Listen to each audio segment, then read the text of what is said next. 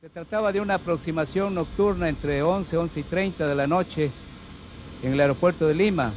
Nos encontrábamos, nos encontrábamos a una altitud de 5.000 pies aproximándonos al Callao en, la, en un procedimiento que se llama el ILS hacia la pista.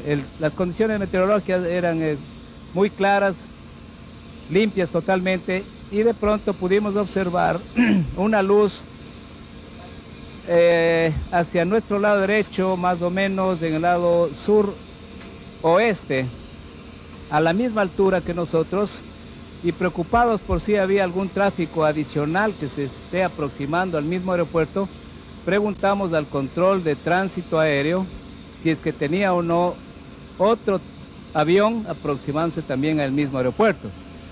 Eh, nos confirmó que no había ningún otro avión, solamente el nuestro. Le manifestamos que teníamos a la vista un objeto o un tráfico, como llamamos nosotros aeronáuticamente, eh, a una distancia pues de unas 5 millas, de un color amarillo, no fulgurante, pero que se le podía identificar el color. Eh, más o menos entre una bruma muy eh, débil, pudimos dar la forma del objeto en que era tipo ovalado. No con líneas específicas de ovaladas, pero sí con rasgos que daban esta forma y que podíamos distinguir entre un avión y algo que no sea un, aeroplano. Estamos bien familiarizados, ¿no? Yo tengo 32 años de volar, 15 mil horas de vuelo. Nosotros reportamos a la torre de control quien nos tenía en el radar en la aproximación para que nos confirme si teníamos otro avión aproximándonos, capaz de poder nosotros tomar una precaución en la aproximación y fuimos, fue tajante el, eh, operador que no había ningún otro tránsito aproximándonos, ni en la salida ni en el acercamiento. Sí puedo decir que era diferente y único en el espacio, porque además tuvimos la precaución, porque fue muy visible y por mucho tiempo, de diferenciar entre ciertos botes o barcos posados ahí en, el, eh, en el amarre, en, en, el Callao preciso, que tienen otro tipo de luz. Claro. ¿No? Son luces de navegación o identificación que usan las, las, naves los yates y los botes o los buques. Al día siguiente, en realidad, pues no habíamos comentado con el copiloto, el ingeniero de vuelo que habíamos observado. Y al, al día siguiente habíamos este, conocido y leído en la prensa de que se trataba obviamente de algo que fue visto por la población. O sea, fue visto por, la, por gente que tomó fotografías inclusive y que salieron publicados en los periódicos. Nosotros estábamos ciertos en lo que habíamos observado, que se trataba de un objeto que obviamente que nosotros conocemos volador, objeto volador, el ovni, realmente.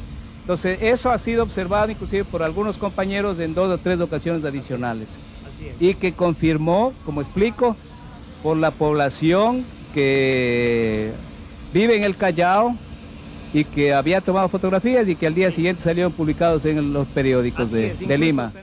Y efectivamente, al día siguiente, este fue el comentario de la prensa y la televisión peruana. La aparición de dos ovnis, objeto volador no identificados, han alarmado a los vecinos de la zona de Chicuito en el Callao, los cuales permanecen fuera de sus casas para poder presenciar estas naves. Incluso el personal del terminal marítimo del Callao encendió sus luces para poder ubicar estos objetos voladores. Los barcos de la Marina de Guerra, los cuales se encuentran anclados en el mar del Callao, con sus potentes reflectores también tratan de localizarlos. Luego de varias horas, algunas siluetas se pueden apreciar. Cabe recalcar que en esta zona del Callao no es la primera vez que aparecen estos objetos voladores no identificados. Hace algunos años aparecieron de día muy cerca a las viviendas, pudiendo ser vistas por decenas de personas. Estábamos aquí en una perrillada y de repente volteamos a ver y vimos un objeto no identificado. De ahí se pasaron todos los vecinos, se pasaron la voz y comenzó a salir el, el ovni. Y estuvo por tres horas saliendo. Se escondía y cada 20 minutos volvía a salir, dando giros sobre esa, una luz potente que se ve de los barcos y, después de 11 años vuelve a ver otro.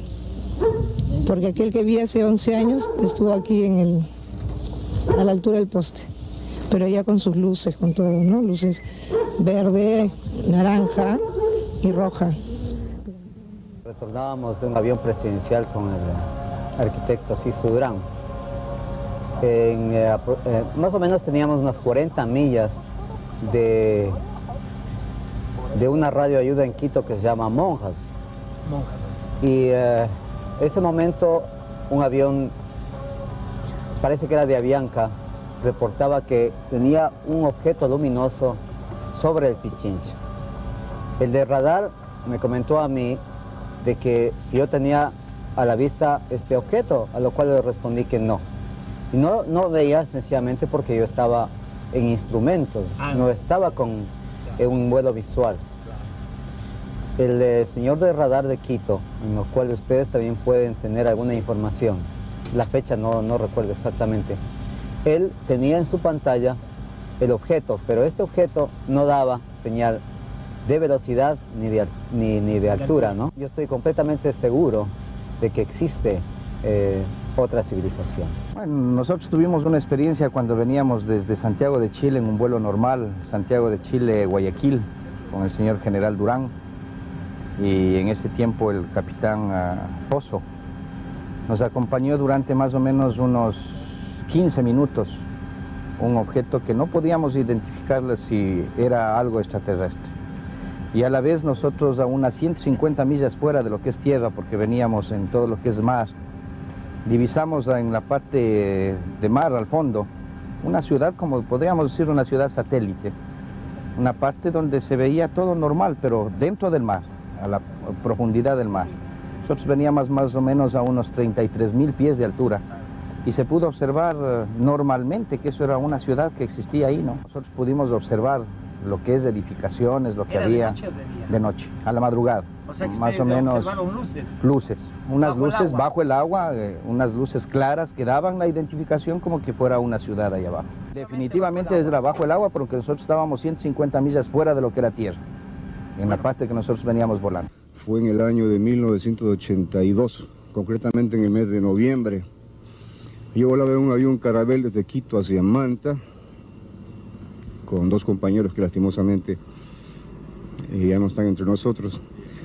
Y eh, recuerdo que aproximadamente a unas eh, 15 o 20 millas de Manta, de pronto nos sorprendimos de utilizar una, un objeto, ¿no? así lo puedo decir o calificar, eh, circular esférico, mejor dicho, esférico. Eh, le digo que inicialmente pensamos que se trataba de un globo, de una sonda meteorológica. Y a medida que nos íbamos acercando, íbamos obviamente mirándolo más, tratando de apreciarlo mejor, ¿no? De qué se trataba. Aparentemente, le digo que era de día, de día, una excelente visibilidad. O sea, pues no cabe duda de que realmente el asunto era fácilmente identificable. Sí, yo le digo que eh, contra lo que se comúnmente pues, se comenta sobre estas cosas que dice que forma tacha, esto era esférico, totalmente esférico. Y como le decía antes, aparentemente giraba sobre su propio eje. Estaba estático en el sitio, no se movía y, obviamente nos íbamos acercando a él. Pero aquí viene lo importante y curioso, que cuando estábamos observándolo, de repente se desplazó a una velocidad eh, no cuantificable. Y- y obviamente mucho más extraño todavía porque estaba partido de punto muerto, pues de punto cero y se desplaza a una velocidad increíble, ¿no? Y ahí pues nos convencimos realmente de que no era una cosa que fuera identificable por lo menos por nosotros, ¿no? Bueno, nosotros veníamos de un vuelo que venía aproximadamente de Gualaquiza para Quito. Veníamos con unos pasajeros, chequeamos el punto de notificación ya y nos incorporamos al tramo con el viento para la pista 17. Y vimos al frente una, una luz bastante rápida, más o menos será como la luz de un 727.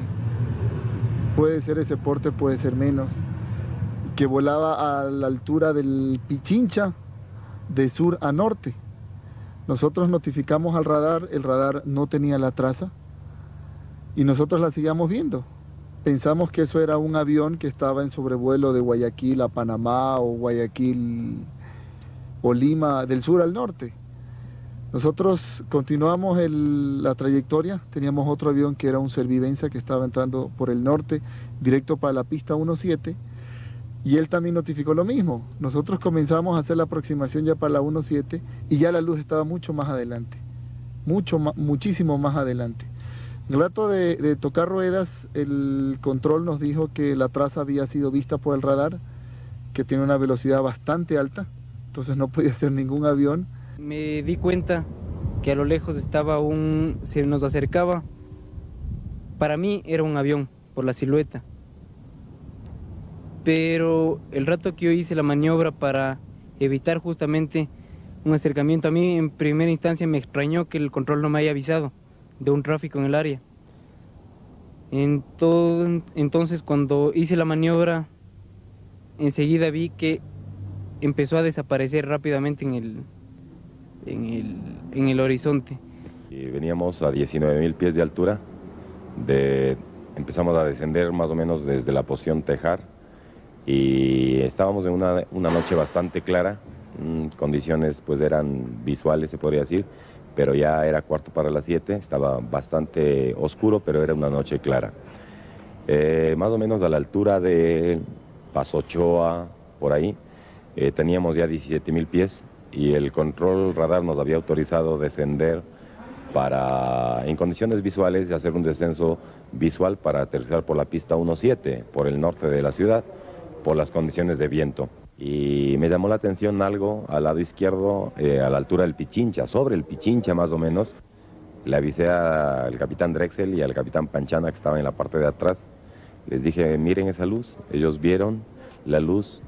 Eh, en un principio me dijeron, ¿qué es eso? Y le dije, yo creo que es un ovni, ¿no? No estábamos seguros, pero la única manera y la más fácil de sacarse la duda era preguntándole al control radar. Entonces le llamé, cogí la radio, le llamé al control radar y le pregunté si es que el control radar tenía alguna aeronave que estaba por el sector del Pichincha. Vieron que negativo, que no tenían ningún contacto, que no sabían de ninguna aeronave que esté en ese sector.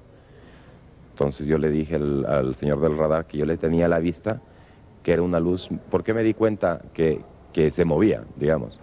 Era porque en el Pichincha se puede decir que aquí está el Pichincha y aquí está otro, cerro, el Guagua y el Ruco, tal vez, no sé los nombres exactos.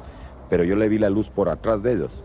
¿sí? Cuando le vi que se movió por detrás de ellos, sabía que era algo que se movía.